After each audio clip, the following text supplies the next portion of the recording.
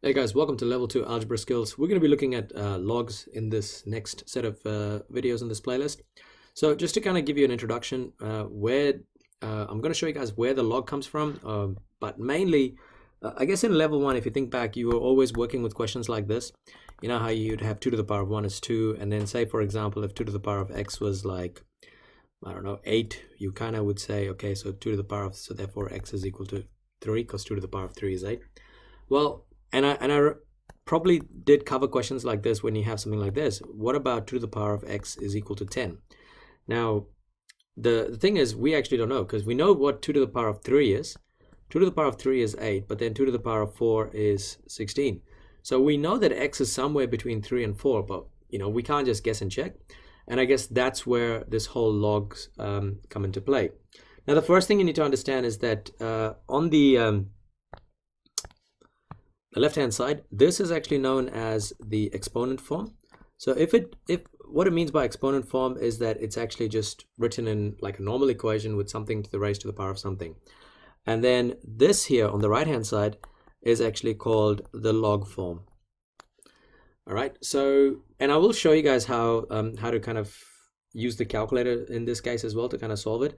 But the basic idea being is that uh, and, I'm, and I love using uh, highlighters particularly in logs and exponents. But after a while, you know, you do enough of them, you get the hang of it. So basically, I use the pink highlighter for the power. So because that x is the power in this case, uh, in log form, that's what that's where x is going to be. And as for the base, uh, I actually like using the color blue because B stands for blue and blue is the base. Pink stands for power. That's why I kind of use those colors there. So that means your base actually ends up being there. And finally, uh, the green being the answer. Uh, I guess, I don't know, I just couldn't find a color at the moment that I highlighted it with beginning with the letter A. So that's basically what um, th this formula is. Now, this formula will be given to you in your level two um, NCEA exam, so it's not something that you need to remember, but trust me, you do so many of them, eventually actually just remember it.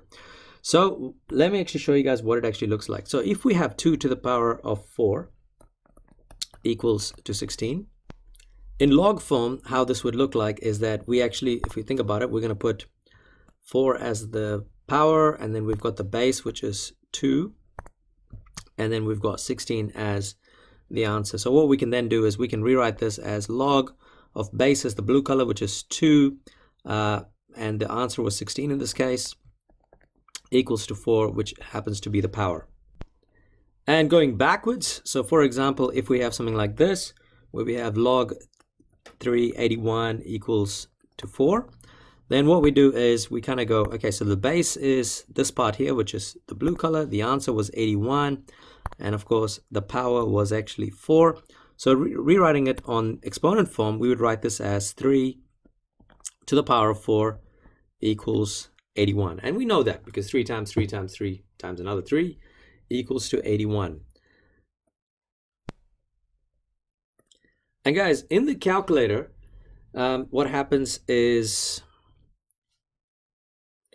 now with the calculator, what you have is you've actually got the log button right there. But if you look at it, it actually has a base 10. Um, and I know if you look in your calculator, uh, I don't know if you can see it in this video here, but uh, it's actually 10 to the power of x.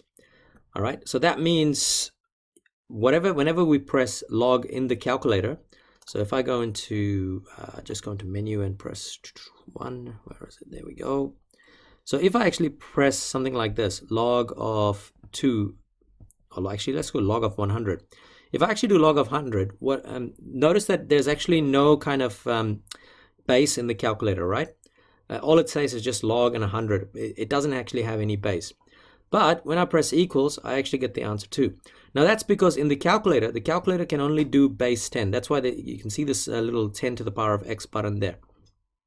All right. So when we actually look at log of 100, uh, I'm just going to do this in the side here. So when we enter in the calculator log of 100, what the calculator actually do does is that it actually takes a base of 10 um, and then equals to whatever the power is. Now, so if you think about it, we've got the base here as uh, blue, we've got the answer here as 100, and the power here as x.